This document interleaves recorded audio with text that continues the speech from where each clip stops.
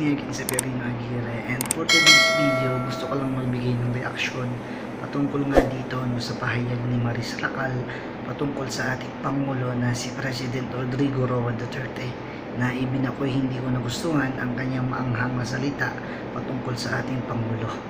Hindi ako nandito para kampihan siya at hindi rin ako nandito para batikusin siya.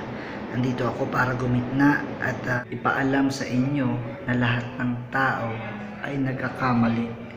Walang taong perpekto at sa pagkakataong ito ay hinihiling ko na bigyan natin siya ng pangalawang pagkakataon dahil alam ko rin na labis siyang nagsisi sa kanyang sinabi o sa kanyang binitawang salita sa ating Pangulo.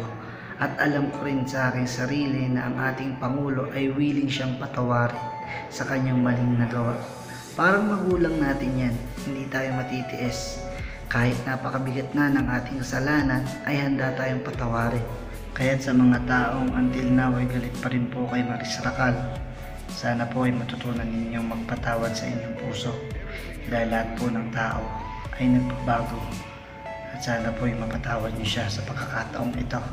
Yun lamang po sa araw na to at kung nagustuhan niyo po ang video kong ito ay pakipindot naman ang ating like at syempre mag-subscribe ka na i-click mo ng subscribe button at ang notification bell para lagi kang updated sa aking mga video. Ingat ka lagi ka sa dig. See you in my next vlog. God bless.